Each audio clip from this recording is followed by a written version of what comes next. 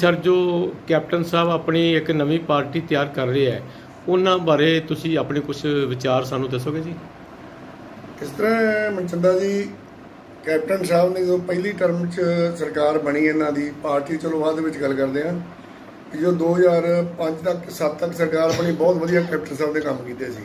ਕੋਈ ਇਹਦੇ ਵਿੱਚ ਅਤਕਤਨੀ ਨਹੀਂ ਹੋਈ ਵੀ ਬਹੁਤ ਵਧੀਆ ਕੰਮ ਕੀਤਾ ਜਿਵੇਂ ਪੰਜਾਬ ਦਾ ਪਾਣੀਆਂ ਦਾ ਮੁੱਦਾ ਉਹਨਾਂ ਨੇ ਖਤਮ ਕਰਤਾ ਫਿਰ ਆਪਣਾ ਫਸਲਾਂ ਦੀ ਵਿਕਰੀ ਉਸੇ ਵੇਲੇ 5 ਸਾਲ ਇਸ ਤਰ੍ਹਾਂ ਵਿਕਦੀਆਂ ਰਹੀਆਂ ਵੀ ਜਾਂਦਿਆਂ ਝੋਨਾ ਕਣਕ ਜਾਂਦਾ ਸੀ ਵਿਕ ਜਾਂਦਾ। ਬਹੁਤ ਮਤਲਬ ਹੋਰ ਵੀ ਕੰਮਾਂ ਤੋਂ ਬੜਾ ਵਧੀਆ ਰਿਹਾ। ਐਰਕੀ ਦੀ ਟਰਮ ਦੇ ਵਿੱਚ ਆ ਕੇ ਨਾ ਇਹ 4.5 ਸਾਲ ਤੱਕ ਤਾਂ ਹੁਣ ਕੈਪਟਨ ਸਾਹਿਬ ਸੁੱਤੇ ਰਹੇ ਨੇ। ਜੀ। ਬੇਸ਼ੱਕ ਇਹਨਾਂ ਦਾ ਆਪਣਾ ਸੌਹਾਂ ਖਾਧੀਆਂ ਇਹਨਾਂ ਨੇ ਨਸ਼ਾ ਖਤਮ ਕਰਨਾ ਤੇ ਪਰ ਉਹ ਨਸ਼ੇ ਵਾਲਾ ਕੰਮ ਜਿਹੜਾ ਉਹ ਆਪਣਾ ਉਸ ਤਰ੍ਹਾਂ ਦਾ ਉਸ ਤਰ੍ਹਾਂ ਹੀ ਤੇ ਮਤਲਬ ਚੱਲੀ ਗਿਆ। ਕੋਈ ਮਤਲਬ ਉਹਦੇ ਵਿੱਚ ਸੁਧਾਰ ਨਹੀਂ ਹੋ ਸਕਿਆ। ਤੇ ਜਿਹੜੀ ਨਵੀਂ ਪਾਰਟੀ ਉਹਨਾਂ ਨੂੰ ਵਿਸ਼ਵਾਸ ਖੋ ਬੈਠੇ ਨੇ ਹੁਣ ਆਮ ਪੰਜਾਬ ਦਾ ਨਾ ਲੋਕਾਂ ਦਾ, ਹੁਣ ਕੋਈ ਵਿਸ਼ਵਾਸ ਜਿਹਾ ਨਹੀਂ ਰਿਹਾ। ਕਿਉਂਕਿ ਇੱਕ ਤਾਂ ਕੈਪਟਨ ਸਾਹਿਬ ਰਾਜਿਆਂ ਵਾਲੀ ਜ਼ਿੰਦਗੀ ਜਿਉਂਦੇ ਆ, ਇਹਨਾਂ ਦਾ, ਇਹਨਾਂ ਨੂੰ ਮਿਲਣਾ ਹੀ ਬੜਾ ਔਖਾ। ਹੈ ਮੰਤਰੀ ਨਹੀਂ ਮਿਲ ਸਕਦੇ, ਆਮ ਪਬਲਿਕ ਤੇ ਬੜੀ ਦੂਰ ਦੀ ਗੱਲ ਆ। ਤੇ ਬਾਕੀ ਜਿਹੜੀ ਨਵੀਂ ਪਾਰਟੀ ਬਣਾ ਮੇਰੇ ਖਿਆਲ ਦੇ ਇਹ 'ਚ ਕੋਈ ਕਾਮਯਾਬੀ ਨਹੀਂ ਇਹਨਾਂ ਨੂੰ ਹੋਣੀ, ਕਿਉਂਕਿ ਇਹ ਜਿਹੜਾ ਆਪਣਾ, ਇਹ ਭਾਜਪਾ ਨਾਲ ਵੀ ਗੱਠਜੋੜ ਕਰਨ ਨੂੰ ਫਿਰਦੇ ਆ, ਤੇ ਭਾਜਪਾ ਕਿਸਾਨ ਵਿਰੋਧੀ ਆ। ਇਸ ਤੋਂ ਬਾਅਦ ਜਦੋਂ ਭਾਜਪਾ ਨਾਲ ਮਾੜਾ ਜਿਹਾ ਗੱਠਜੋੜ ਹੋਣ ਦੀ ਇਹਨਾਂ ਨੇ ਕੋਸ਼ਿਸ਼ ਕੀਤੀ, ਕਰਨ ਦੀ ਕੋਸ਼ਿਸ਼ ਕੀਤੀ ਜਾਂ ਉਹਨਾਂ ਰਲਣ ਦੀ ਕੋਸ਼ਿਸ਼ ਕੀਤੀ, ਤੇ ਇਹ ਹੋਰ ਮਿੱਟੀ ਹੋ ਜਾਣਗੇ। ਇਹਨਾਂ ਨੂੰ ਬਿਹਤਰ ਤਾਂ ਇਹ ਆ ਵੀ ਆਰਾਮ ਨਾਲ ਉਮਰ ਦਾ ਤਕਾਜ਼ਾ ਇਹਨਾਂ ਦਾ ਇਹ ਆ, ਆਰਾਮ ਨਾਲ ਆਪਦੇ ਮਹਿਲਾ 'ਚ ਬਹਿਣ ਤੇ ਆਪਦੀ ਜਿਹੜੀ ਬਾਕੀ ਜ਼ਿੰਦਗੀ ਉਹ ਰੱਬ ਰੱਬ ਕਰਕੇ ਗੁਜ਼ਾਰਨ। ਪਾਰਟੀ ਪੂਰਟੀ ਨਹੀਂ ਇਹਨਾਂ ਦੀ, ਨਾ ਕਾਮਯਾਬ ਹੋਣੀ, ਨਾ ਹੁਣ ਇਹਨਾਂ ਤੋਂ ਚੱਲਣੀ ਆ, ਕਿਉਂਕਿ ਵਿਸ਼ਵਾਸ ਹੀ ਹੈ ਨਹੀਂ ਲੋਕਾਂ ਨੂੰ ਹੁਣ ਇਹਨਾਂ ਤੇ। ਕਿਉਂਕਿ ਸਾਢੇ ਚਾਰ ਸਾਲ ਸੌਂਖ ਹੀ ਲੰਘਾ ਲਿਆ। ਜੇ ਕੋਈ ਇਹਨਾਂ ਦੇ ਵਿਧਾਇਕ, ਮੰਤਰੀ ਬਹੁਤ ਚੰਗੇ ਵੀ ਹੈਗੇ ਨੇ ਪਾਰਟੀ, ਕਾਂਗਰਸ ਪਾਰਟੀ ਦੇ ਵਿੱਚ ਉਹਨਾਂ ਦਾ ਤਾਂ ਗੱਲ ਹੀ ਨਹੀਂ ਸੁਣਦੇ ਰਹੇ। ਉਹ। ਤੇ ਪਾਰਟੀਆਂ ਹੁਣ ਨੇ, ਇਹਦੀ ਪਾਰਟੀ ਦਾ ਕੈਪਟਨ ਸਾਹਿਬ ਦਾ ਔਖਾ ਹੈਗਾ ਸਾਢੇ ਚਾਰ ਸਾਲ ਦੇ ਵਿੱਚ ਜੋ ਵੀ ਕੈਪਟਨ ਸਾਹਿਬ ਨੇ ਕੰਮ ਕੀਤੇ, ਉਹ ਕਿਸੇ ਵੀ ਕੰਮ ਦੇ ਨਹੀਂ ਸਨ। ਆਮ ਜਨਤਾ ਦਾ ਬਹੁਤ ਬੁਰਾ ਹਾਲ। ਤੇ ਆਉਣ ਵਾਲੇ ਸਮੇਂ ਦੇ ਵਿੱਚ ਅਗਰ ਇਹ ਹੋਰ ਕੰਮ, ਪਾਰਟੀਆਂ ਨਾਲ ਰਲਦੇ ਨੇ, ਤੇ ਇਹ ਉਸ ਤੋਂ ਵੀ ਆਪਦੀ ਇੱਜ਼ਤ ਘਟਾਉਣਗੇ। ਤੁਸੀਂ ਕੀ ਕਹਿ ਰਹੇ ਹੋ ਸਰ ਪਾਰਟੀ? ਮੈਂ ਉੱਥੇ ਕਹੂੰਗਾ ਜ਼ੀਰੋ। ਬੈਨਰ ਰੇਟ ਕੰਮ ਹੁੰਦੇ ਨੇ। ਕਾਂਗਰਸ ਪਾਰਟੀ ਨੰਬਰ 1 ਹੈ। ਨੰਬਰ 1 ਸੀ ਤੇ ਨੰਬਰ 1 ਰਹੇਗੀ।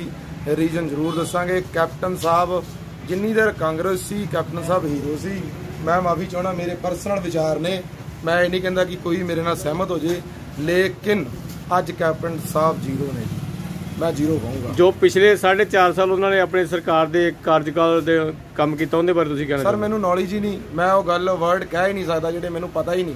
ਉਹਨਾਂ ਦੇ ਕਾਰਜਕਾਲ ਤੋਂ ਕੋਈ ਸੰਤੁਸ਼ਟ ਹੈ ਜਾਂ ਨਹੀਂ ਹੈ ਮੈਨੂੰ ਸਿਰਫ ਇੰਨਾ ਪਤਾ ਵੀ ਚੰਨੀ ਸਾਹਿਬ ਨੇ ਸੀਟ ਤੇ ਬਹਿੰਦਿਆਂ ਜੋ ਵੋਟਰ ਨੂੰ ਜੋ ਆਮ ਜਨਤਾ ਨੂੰ ਜੋ ਗਰੀਬ ਬੰਦਿਆਂ ਨੂੰ ਆ ਸਹੂਲਤ ਦਿੱਤੀ। ਮੈਂ ਬਹੁਤ ਪਿਆਰ ਭਰੀ ਉਹਨਾਂ ਨੂੰ ਸਤਿ ਸ੍ਰੀ ਅਕਾਲ ਤੇ ਸੀਸਾਂ ਦਿੰਨਾ ਵਿਚਾਰ ਇਹੀ ਆ ਵੀਰ ਜੀ ਕਿ ਹੁਣ ਬਸ ਭਾਜਪਾ ਦੇ ਦੂਜੇ ਨਾਂ ਤੇ ਆਪਦੀ ਪਾਰਟੀ ਤਿਆਰ ਕਰਕੇ ਤੇ ਭਾਜਪਾ ਨੂੰ ਫਾਇਦਾ ਦੇਣਗੇ। ਠੀਕ ਹੈ ਨਾ? ਇਹ ਉਹਨਾਂ ਨਾਲ ਹੀ ਹੱਥ ਮਿਲਾਉਣਗੇ। ਦੂਸਰਾ ਤਰੀਕਾ ਲੱਭ ਲਿਆ ਇਹਨਾਂ ਨੇ ਵਧੀਆ। ਜੋ ਪਿੱਛੇ ਇਹਨਾਂ ਨੇ ਇਹਨਾਂ ਦੇ ਬਾਰੇ ਤੁਸੀਂ ਜੋ ਕਾਰਜਕਾਲ ਦੇ ਵਿੱਚ ਇਹਨਾਂ 4.5 ਸਾਲ ਬਿਲ ਕੀਤਾ ਉਹਨਾਂ ਬਾਰੇ ਤੁਸੀਂ ਸਾਨੂੰ ਕੋਈ ਦੱਸੋਗੇ ਜੀ? ਬਸ ਸ਼ਾਂਤ ਹੀ ਰਹੇ ਨੇ। ਕੈਪਟਨ ਸਾਹਿਬ ਤਾਂ ਅੰਦਰੋਂ ਨਿਕਲੇ ਨਹੀਂ ਗਿਆ ਕਿ ਉਹਦਾ ਸਿਧਵਾ ਫਾਰਮ 'ਚ ਬਣੇ ਰਹੇ ਆ। ਸਾਢੇ ਚਾਰ ਸਾਲ ਕੋਈ ਇਹਨਾਂ ਦੀ ਕਾਰਗੁਜ਼ਾਰੀ ਨਹੀਂ ਵਧੀਆ ਰਹੀ। ਇਸੇ ਕਰਕੇ ਤਾਂ ਪਾਰਟੀ ਪ੍ਰਧਾਨ ਚੇਂਜ ਕਰਨਾ ਪਿਆ। ਸਾਰਾ ਸਿਸਟਮ ਅਪਸੈਟ ਹੋ ਗਿਆ ਇਹਨਾਂ ਦਾ। ਠੀਕ ਹੈ ਨਾ? ਜੇ ਕੈਪਟਨ ਸਾਹਿਬ ਤਰੀਕੇ ਨਾਲ ਕੰਮ ਕਰਦੇ ਤੇ ਕਿਸੇ ਦੀ ਕੀ ਜ਼ਰੂਰਤ ਸੀਗੀ? ਕੋਈ ਅੱਗੇ ਆ ਜਾਂਦਾ ਜਾਂ ਸੈਂਟਰ ਨੂੰ ਕੀ ਲੋੜ ਸੀ? ਉੱਪਰੋਂ ਆਪਣੀ ਸੋਨੀਆ ਗਾਂਧੀ ਨੂੰ ਲਾਉਣ ਦੀ ਇਹਨਾਂ ਨੂੰ। ਠੀਕ ਹੈ ਨਾ? ਕਿਸੇ ਇਹਨਾਂ ਦੀਆਂ ਕੀ ਨੀਤੀਆਂ ਸਹੀ ਨਹੀਂ ਸੀਗੀਆਂ। ਇਸ ਕਰਕੇ ਇਹ ਫੇਲ ਹੋਇਆ ਕੰਮ। ਸਾਰਾ ਕੰਮ ਅਪਸੈਟ ਹੋ ਗਿਆ। ਕਾਂਗਰਸ ਪਾਰਟੀ ਦੀ ਇਹਨਾਂ ਨੇ ਮਿੱਟੀ ਬਲੀਡ ਕਰਤੀ ਫੜ ਕੇ। ਉਹ ਤਾਂ ਕੈਪਟਨ ਸਾਹਿਬ ਦੀ ਆਪਦੀ ਮਰਜ਼ੀ ਆ ਜਿਹੜੀ ਮਰਜ਼ੀ ਨਾਲ ਬਣਾ ਰਹੇ ਆ ਸਰਕਾਰ। ਉਹ ਤਾਂ ਉਹਨਾਂ ਦਾ ਆਪਦਾ ਕੰਮ ਆ। ਉਹ 'ਚ ਕਿਸੇ ਦਾ ਕੋਈ ਕੀ ਹੋ ਸਕਦਾ। ਕੈਪਟਨ ਸਾਹਿਬ ਆਪ ਹੀ ਕਰਨਗੇ ਜੋ ਉਹਦਾ ਜਵਾਬ ਤੁਸੀਂ ਕਹਿਣਾ ਚਾਹੁੰਦੇ ਹੋ? ਕੈਪਟਨ ਜਿਹੜੀਆਂ ਮਰਜ਼ੀ ਪਾਰਟੀ ਬਣਾ ਲੈਣਾ ਕੈਪਟਨ ਨੂੰ ਵੋਟ ਪੈਣੀ ਤੇ ਨਾ ਭਾਰਤੀ ਜਨਤਾ ਪਾਰਟੀ ਨੂੰ ਵੋਟ ਇਹ ਦੋਵੇਂ ਇੱਕੋ ਵੱਟੇ ਦੇ। ਕੋਈ ਕੀ- ਵੋਟ ਨਹੀਂ ਪੈਣੀ। ਤੁਸੀਂ ਕੀ ਕਹਿਣਾ ਚਾਹੁੰਦੇ ਹੋ? ਦੇਖੋ ਜੀ ਕੈਪਟਨ ਸਾਹਿਬ ਅੱਜ ਤੋਂ 450 ਸਾਲ ਪਹਿਲਾਂ ਵੀ ਆਏ ਸੀ ਉਹ ਉਦੋਂ ਵੀ ਫੇਲ ਸੀ।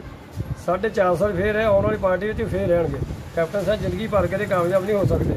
ਉਹਨਾਂ ਨਾਲੋਂ ਚੰਗਾ ਵੀ ਉਹ ਨਾ ਇਸ ਪਾਰਟੀ ਨਾ ਪਾਰਟੀ ਜਾਣ ਕਰ ਆਰਾਮ ਨਾਲ ਘਰੇ ਬਹਿ ਕੇ ਆਪਦਾ ਦਾਰੂ ਪਾਣੀ ਛਕਣ ਤੇ ਸੁੱਖ ਲੈਣ।